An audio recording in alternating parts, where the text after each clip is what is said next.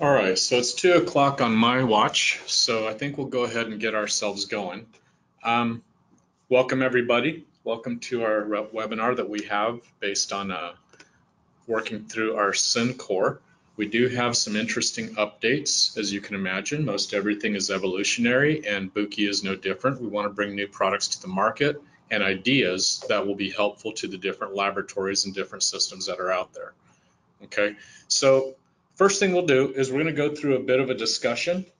Uh, we're going to go and uh, have an outline of uh, the five, probably five different things that I have listed here that we're going to talk about. First, I'm going to introduce both Donald and me. And, uh, oh, what did we do? Went to the wrong one. There we go. Donald and me. Um, Donald is a product specialist with Buchi. He's been working with Buchi over a year now, and uh, he does laboratory and industrial evaporation. So one of the things that's going to be a highlight there is when we get to the method development itself. He uh, did a lot of the footwork, let me tell you. And uh, there he is in his home state, if you want to see. And uh, then there's me, and I'm market manager for Buchi in the arenas of food and beverage, feed and environmental. So I kind of oversee a lot of the different things that go on, the different activities in those industries.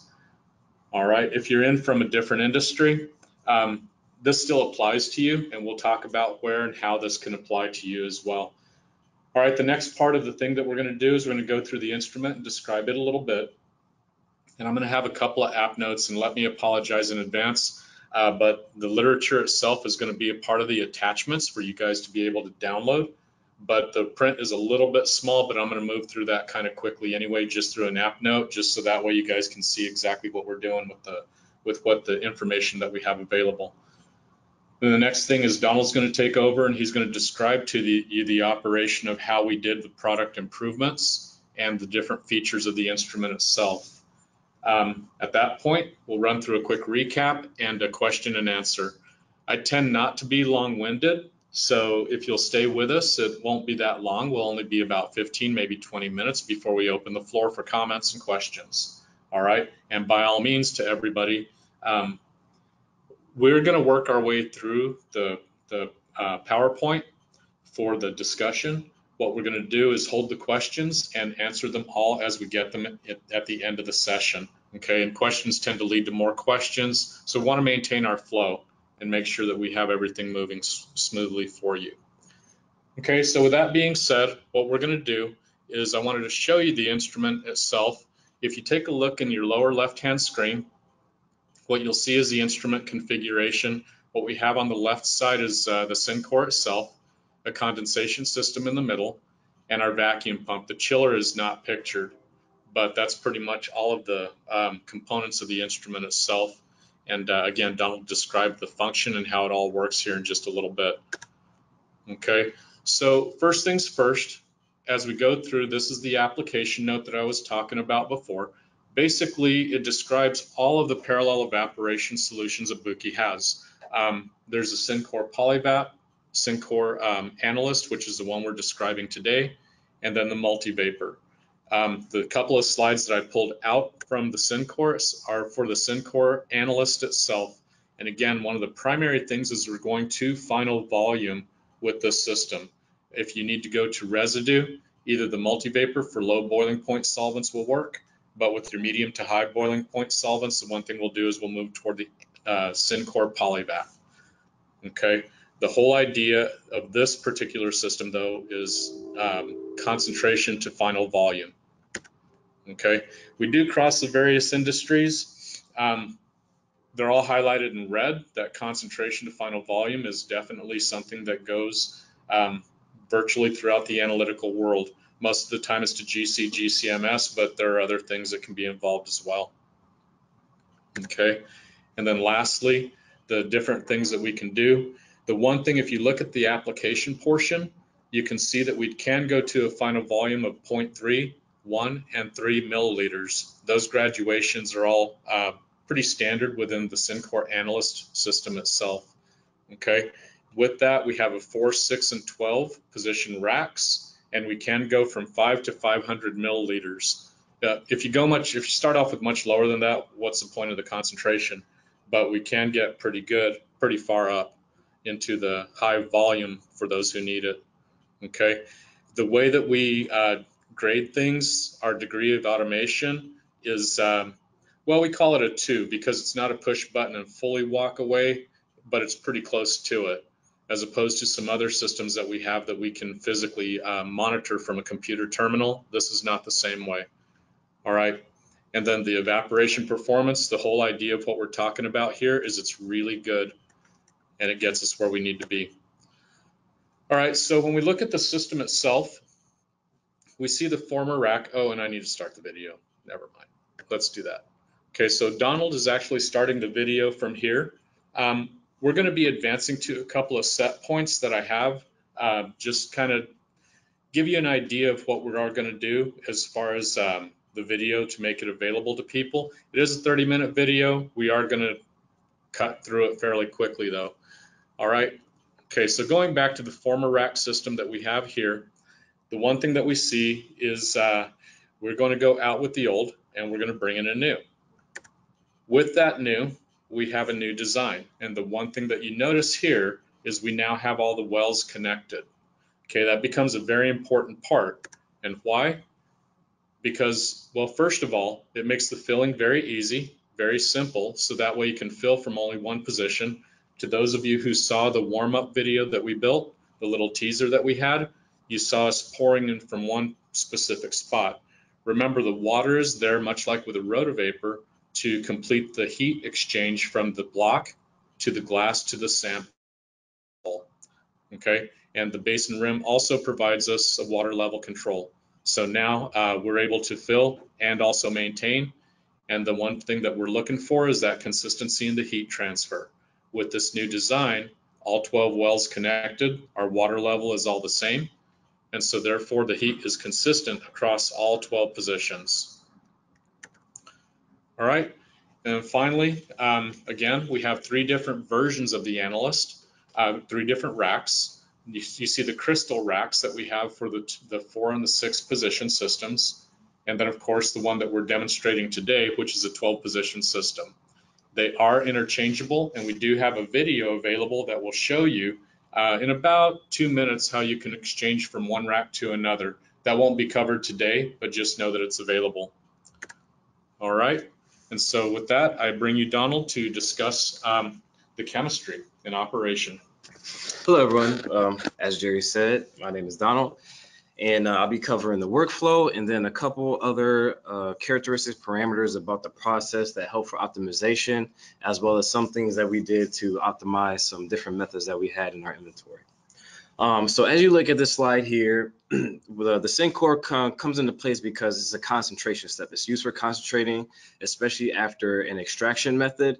Um, after you extract uh, whatever um, target chemical that you're going after inside your product, you have to concentrate it down after the process so that you can analyze it or do whatever you need to do. Um, so the Syncore is a distillation process. So in the past, and actually even currently today, um, people still do nitrogen blowdown or the Kuderna-Danish method, which are evaporation methods. But the key thing that they don't do is condensate. So all those vapors that you're removing off of your sample, they're just going out into hopefully your fume hood, and which uh, inevitably might even be going out into the atmosphere. With the Syncore unit, since it's a distillation process, you're evaporating the solvent off and you're also condensing it back down into the liquid form so that you can collect it and possibly reuse it later. Um, even at, you can even do a cleanup step or to dispose of it properly so that it's not going out to the atmosphere. And another big thing with the process is that you don't need nitrogen. There's no nitrogen source when using a Syncore because you do do this under vacuum. So you, there is no need for nitrogen. So you don't have to order a bunch of nitrogen tanks and it saves costs in the lab um, by re reusing the same equipment on a daily basis as opposed to ordering ordering nitrogen tanks, um, you know, every week. Um, so the big one of the big focuses for using uh, distillation and using the Syncore unit is the vacuum source. So it's very important to have a vacuum source because uh, you can re you can lower the boiling point of the solvent that you're trying to collect. And uh, you know, back in school, somebody told me that if you don't use something, you lose it. So what tends to happen is a lot of people don't realize that pressure plays a big point in um, trying to evaporate something. The boiling point, as you lower the pressure, you lower the boiling. And the, obviously, the lower the pressure, the lower the boiling point, and the less energy you need to put into the system to get your solvent to evaporate. And that's where really where the vacuum uh, comes into play. So the advantage of this, as you can see here, if you have thermosensitive samples, then you obviously you don't have to degrade them or polymerize them by introducing a lot of heat into the system. And you also speed up your evaporation rates significantly because you have to put a lot less energy into the system if you do uh, put a little bit more energy into the system, you can you can really send those vapors flying over and really concentrate your sample in a timely manner. And then, as I mentioned before, the elimination of nitrogen in your process. If you don't need nitrogen, saving costs, and um, you get nice reproducible results as well, because with your vacuum source and proper vacuum control, you can get uh, nice reproducible results, but we'll get into that in the next slide. So um, you know, following up with what I said previously, with proper vacuum control, you can create a method. And if you have a proper method, then you can get nice reproducible results and you can do everything in a very timely manner. So this is one of the methods that we created in the lab. So this is for DCM, and this is going from 100 milliliter samples to one milliliter residual volume. So we did this, as you can see the parameters here. We have a uh, platform temperature of 55, which is the, the heating block there. You have your cooling temperature, which is the condenser and the recirculating chiller that's connected to it. And then you have your vacuum cover, which is a, heated lid so that as vapors go over, they don't condense on the glassware and fall back down into the, well, one, so they don't collect inside of the, uh, the top of the lid, and so that they continue over into the condenser so they can properly be condensed down. And then you have the rotation. Rotation, you need some kind of agitation. If you don't agitate the liquid, then one, you lose out on surface area, as well as you increase the chances of bumping. So this is the gradient that we were able to, to establish while um, trying to make a proper method for DCM. And this, the, the, the, methodology behind this method was to bring down the pressure low enough that we did not get any bumping, but we started to get evaporation. So the biggest thing that you have to worry about with any evaporation process um, is that you don't bump your product up into the lid, thus contaminating your solution and the, the uh, analyte that you're trying to concentrate. So with this, the first step that we have here, the ramp down from 950 to 650, that allowed us to bring the pressure down low enough that we immediately started to see evaporation, as well as getting the air bubbles out of solution to prevent any bumping from happening. And then basically from step two to step five, we have different um, gradient methods to further speed up the evaporation process without bumping. So as the volume decreases inside of your vessel, you can continue to be more aggressive with your pressure so that you can increase the evaporation rate and get down to residual volume uh, in a timely manner. And then the sixth and seventh step, so as you get towards the lower end of the process and your volumes get very, very low, it can be a little it can be a little difficult to get those vapors to come off as readily because you do have your um, the the appendage at the appendage at the bottom of the vessel being cooled. So you want to get the vapors to come off uh, right above that and there might be a small temperature gradient. So you do have to be a little more aggressive with the vacuum to get those uh, residual vapors to come over but through for, through optimization, I'll cover a little bit more of this as we continue. But we were able to get this method down to uh, about 29 minutes. I believe when we started, the method that we initially had was a, around 55 minutes, almost to an hour. So as I mentioned um, previously, there are different zones inside of the Syncore unit. You do have your heating zones, which are the heating block that I mentioned uh, before, and the lid. So, um, and I, I explained why why those are heated previously. When you do have to evaporate, you have to add energy into the system. So that's why you have your heating block, and then you have the heated cover so that you don't get any collection of vapors condensing in the lid and falling back down into your solution. Now you do have your cooling uh, areas as well. So if you look at the picture, you have your cooling zone, which is in light blue. And so this is the cooling of the appendage so that you can get down to a specific residual volume without going to dryness, which you would do on the polyvap and not the analyst. Now, we also have the flushback module. So the flushback module, and I'll, continue to explain this a little bit more, but it allows a reflux of the solvent so that it washes down the side of the um, vessels so that you your um, your analyte is being concentrated down in the appendage and not going to dryness on the sides of the walls. All right. And then you also have the cooling of your condensers. So your main condenser, which should um, condense uh, most of your majority of your vapors is before the vacuum pump. And then you can also have the option of getting a secondary condenser, which goes on the back end of the vacuum pump. So if any vapors do escape the first condenser, they go through the pump and then they get collected by the secondary condenser. Um, now this is a closer look at the cooled appendage, the chilled appendage in the Syncore unit, the Syncore Analyst. Um, so as you can see, there are different hot zones, but any contact with the appendage is being cooled so that those vapors do stay chilled and do stay in a liquid form and do not evaporate so that your sample does not go to complete dryness. All right, and as I mentioned before, uh, we do have the flushback module, which allows your solvent to rinse down the sides of the vessel so that as your uh, as your solution concentrates down, everything that you want to collect is actually in the appendage and not stuck to the side of the vessel, thus losing valuable product and not getting the results that you wanted. And you do lose out on those reproducible results.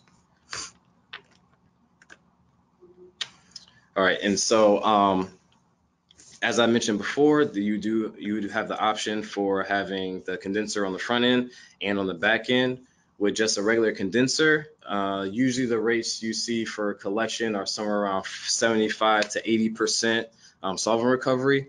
But with the added addition of a secondary condenser, you can easily get to 95, even up to 99% solvent recovery. And uh, you can use that solvent for, uh, you can recycle it and use it again for further uh, experiments or just to dispose of it properly uh, in a nice, clean manner, as opposed to having to go out into the air, thus polluting the air. And we do have different receiving flask sizes. More standard, you see a two liter, but we also have the three liter. But that in conjunction with the receiving flask of the secondary condenser, you can get a lot higher solvent recovery rates. Now, one important aspect that uh, does get missed a lot inside of the uh, it chemistry field period is the fact of cooling capacity.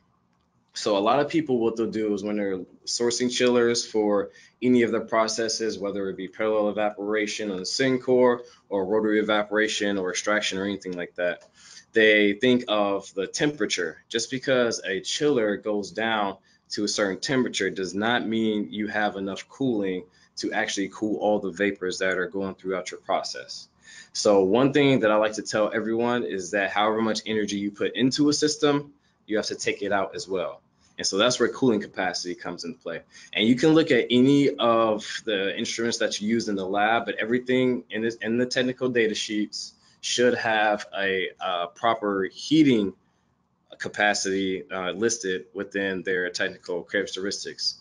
And you want to have a cooling capacity that is very similar to the heating capacity of the instrument that you're working with because if you don't have proper cooling capacity, what will happen is over time, the chiller will tend to heat up. So even though you bump it down to negative 20 degrees, after about 10 minutes, you'll see it go to, uh, you know, five degrees C or 10 degrees C, and then you won't be getting proper condensation of all the vapors inside of your system.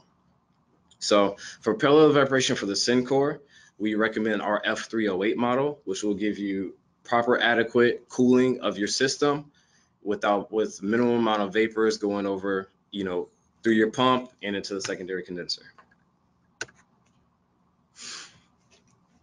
Next, uh, I want to touch on is the vortex movement. Um, so it's very important that you are able to agitate the surface of your liquid. One, as it goes uh, around in a circular motion, it does increase the surface area for evaporation to occur. As we all know, evaporation only occurs at the surface of a liquid. So as you agitate it, You break the surface tension, so you allow those vapors to come off a lot easier, and you create a lot more surface for evaporation to occur. And the Syncore can go from zero to 300 RPM if needed. And depending on the application, you can uh, easily adjust the agitation to your specific needs. And the last thing that I want to touch on is the PTFE stir bar. So when we were developing the method and you know cutting the method from 55 to 30 minutes, one thing that played a big part was using the stir bar. So the stir bar actually added a layer of, uh, you know, added more surface for boiling to actually occur, and it significantly prevented the solution inside the vessels from bumping. Now you can do this with boiling chips as well, but if you're going to be using the Syncore Analyst, it's imperative that you find a, a stir bar that is big enough that it does not fit inside of the appendage. Otherwise, when you go to look at your um, residual volume after the run has completed, you won't get the results that you expected because since the stir bar is actually inside of the appendage, you're getting less volume than you would typically expect. So it's very important that the stir bar doesn't fit inside the appendage if you are going to be using a stir bar with the Syncore Analyst. And we do have one picture here. This is what we use. Uh, it's a football shaped type stir bar and it worked very well because it allowed the stir bar free motion inside the vessel to prevent uh, you know any scratching of the glass, nice smooth um, rotation and uh, movement around the, the bottom of the vessel so that we could get nice, good uh, evaporation throughout the whole process. All right, and then I'll hand it back over to Jerry. Okay, so we can all see now that the one thing is, is uh, you do have to trust the physics, and that's what we've done here.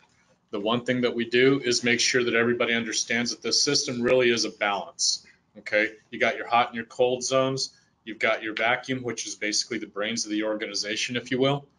And then we have the orbital agitation, which Donald just discussed. And of course, the utilization of something to break up the bubbles and, uh, and uh, help with nucleation.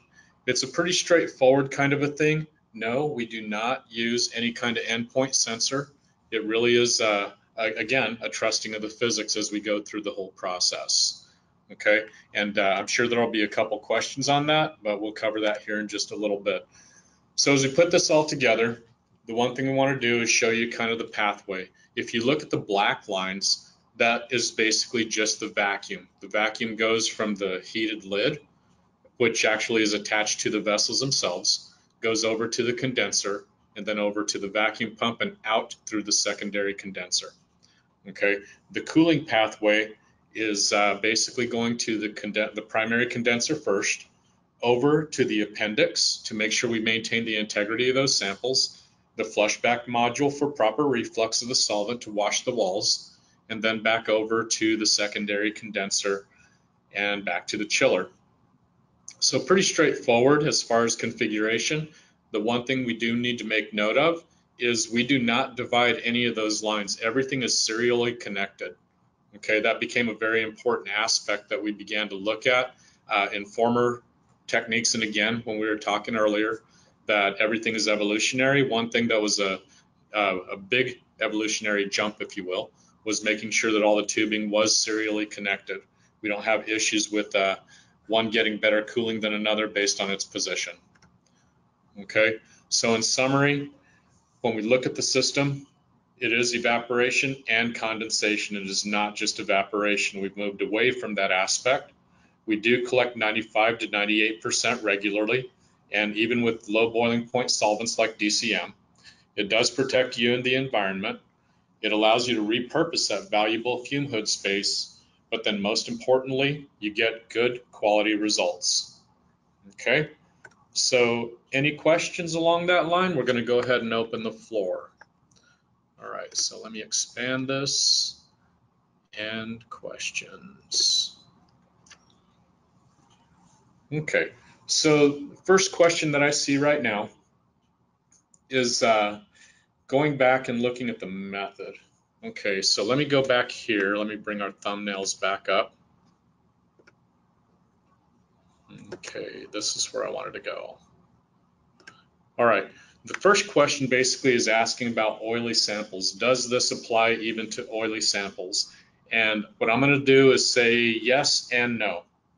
Okay. When we're talking about oily samples, the one problem that I see a lot of people is uh, with a lot of people is there's also water along with that oil. Water we do have to handle a little bit differently, but oily samples will not bump. We practiced it and we worked with it. And if you just have some kind of oil residue that you've extracted, you've got a high PAH uh, amount or some kind of a gasoline, diesel, fuel, whatever the case may be that has a lot of oil in it, a lot of hydrocarbon, it still will not bump according to this process and this method that you see here. We did not test it to the fullest extent to 120 mils but this, this profile at 100 milliliters or less, we did not have any problems with bumping where anything got into the lid. Okay. All right. Okay, it, the next question that I see here is about cost. Um, basically, what we're going to do is a better way to answer that is to get you in touch with the sales engineer who can talk about it. The one thing that we look at is we have to look at your process and your configuration. Okay, there's different accessories, different people have different needs, whether it's going to be the, the 0.3, 1 milliliter or 3 milliliter final volume, the volumes that you currently work with. The racks are interchangeable, so that way that you may or may not need the larger or the smaller volumes, those kinds of things. So it's not as straightforward as uh, as what you might think in uh, just how much does a unit cost. Okay, better question is to get the config get the figure configuration ask the questions so we can get you the proper uh, fit for your laboratory. Okay, so one of the next things that I see on the list here is um, the controller. Okay, when we went to the controller, the one thing that we have, let's see if I can find that slide real quick like here. Up one, there we go. All right, the one thing about the controller is, uh, yeah, it, it, actually has won an award for its design. It's a wonderful piece of work. And uh, so the one thing that you can do is you can actually see and watch all of the functions. Uh, let me go to the video real quick. I'm going to have to pause it. I apologize for it being a little bit small, but I'm going to blow it up for this part of the conversation here. Over at somewhere around, okay, I'm seeing around 30 seconds here. Let's see. Give me just a moment. All right. So let me pause this. I know it's really hard for you guys to see the screen. All right. So while it's moving in this, because uh, um, GoToWebinar doesn't do great with video. That's why our screen is a little bit small for the motion. All right, with the controller, um, with the interface that you see here in the i300 Pro, what we have here is we're actually following a set point. Uh, the 917 is a set point, and the 937 is the actual at that point in time. This is about 30 seconds into the run. Okay, the chiller temperature was a little bit warm at 9 degrees C, but its set point is 5 and it does get back down to there. And uh, another accessory that we have on the screen here is uh, the vapor sensor. It kind of really gives us an idea of what temperature of the solvent we're pulling off at, the, at any given time. And uh, last thing that we see here is we see that we have a, a graph that we can follow. Let me go further down and uh, let's take a look at a bigger portion of the entire graph. And uh, let me just, uh, let's see, 2715. All right, so bear with me. It's going to be a little bit jumpy till it gets another 15 seconds, and there we go. All right, so now as we're approaching the end of the program, you can see that our set point is 278. The vacuum is actually 319 millibars our chiller temperatures at 5 and our vapors at 17. So we're pulling it off pretty quickly and efficiently. And uh, if you look on the upper part, it looks like we have 2 minutes and 15 seconds in the seventh. Well, we actually added an eighth step so that way it would aspirate, but basically this is a seven position step method that we were looking at before. Okay, and then finally, uh, one thing I'm going to jump ahead here and I'm going to see if I can't reduce this back down follow along if you can. But what we wanted to do, something that I really wanted to get to, is show you the end result. As we finish, we just now hit the end. And um, in just a moment, we're going to show you the final volumes at the end of this run. Okay. So there, it's finished its aspiration. Donald is turning it off. And uh, let me go ahead and freeze the next one here. It's the same as the previous one, so no big deal. As soon as it gets there, I'm going to freeze it. And then we'll go ahead and go to a full screen. And you can see the stir bar resting in the bottom. So the stir bar is actually in the hot part. And no, we're not using any magnetism at all. We're just using it for the purposes of nucleation. But what you have here is you can see the res residue down at final volume. Okay, and we got it all done in about 30 seconds. Oh, sorry, 30 minutes. 30 seconds. Yeah, it's pretty quick. Pretty quick. Yeah. All right. So I do have one more question here.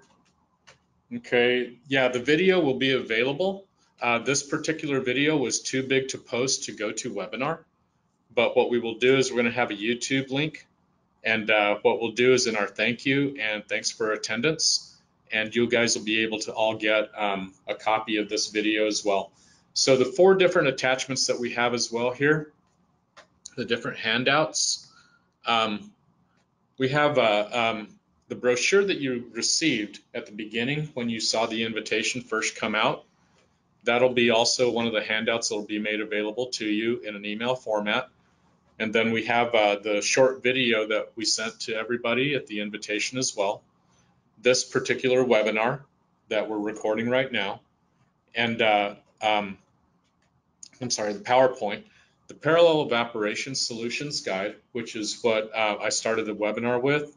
And of course, this video, but the video will be sent to you in the form of a link simply because of its size. And you can watch it on YouTube from any given terminal.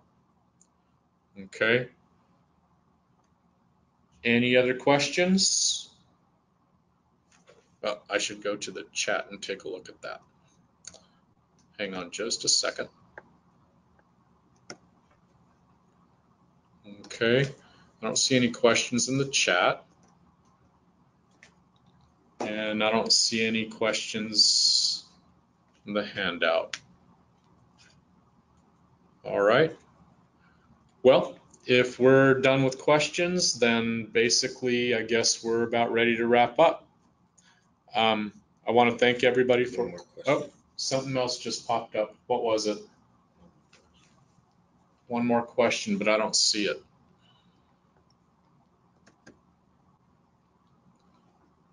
Okay. I see one more question, but I don't see the, the question itself.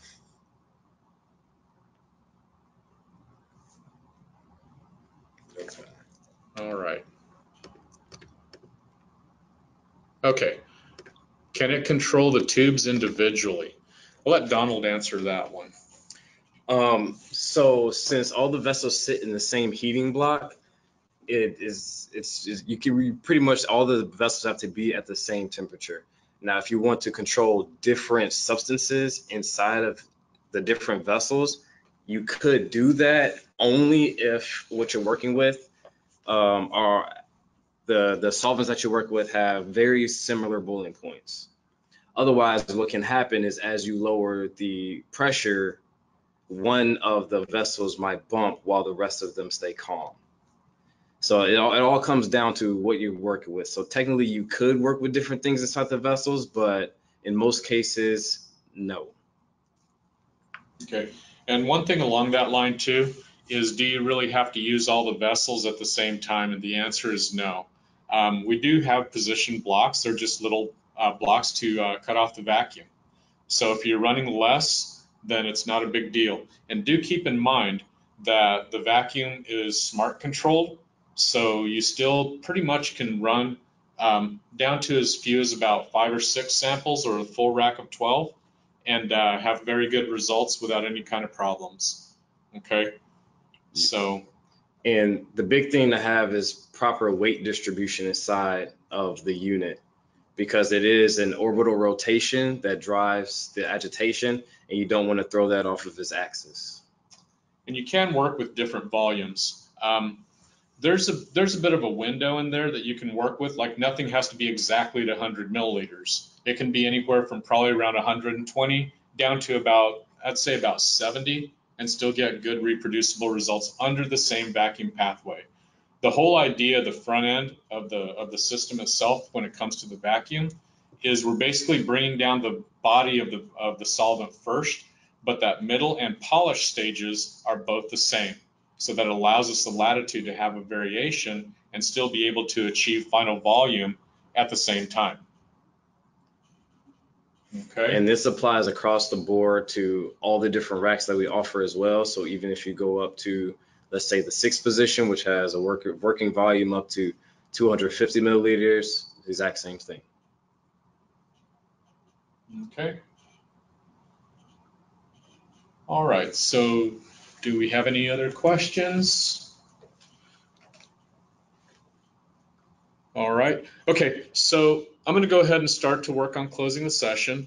I want to thank everybody for their time and their attendance. Um, it's good to visit with everybody. Um, we do have uh, um, a follow-up that we'll be sending and uh, make sure that everybody has any questions that come up after. We're more than willing to uh, address at that time as well. All right. Thank you, and everybody have a good day.